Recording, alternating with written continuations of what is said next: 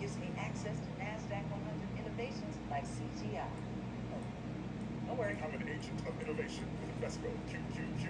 For investment carefully. For investment protection, discharges. Invesco.com.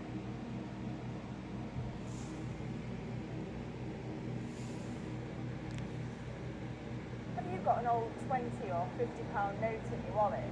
You might not know that after September 30th, it will no longer be legal tender in the UK.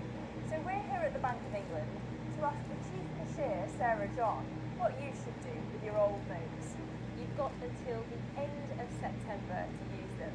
So if you've got any at home, dig them out, either take them to the shop, spend them, put them in your bank account. After the end of September, they won't be legal tender anymore. We've obviously moved now largely to the polymer notes, which are cleaner, safer and stronger. On the £50 note, we've got the amazing mathematician Alan Turing. He's a very, very popular public choice actually, both for his work during the war at Bletchley Park, code breaking, but also his foundational work on computing, really the founder of modern day computing. And on the £20 note, we've got the famous artist J.M.W. Turner, fantastic seascapes in particular that he's famous for. So there are six billion pounds worth of the paper 20s still in circulation and eight billion pounds worth of the 50s still out there. The latest data is that 1.2 million people in the UK rely basically completely on cash for their day-to-day payments and a lot of people like to use cash. It's very tangible, it's a good budgeting tool. I think a lot of £50 notes people actually have as what we call a store of value.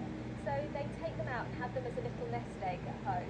You dealt with a case very recently where um, there were a number of banknotes issued during the Second World War. And what we think's happened is that a storekeeper put them in a box and put them in the back room of their shop underneath the floorboards, probably for safekeeping.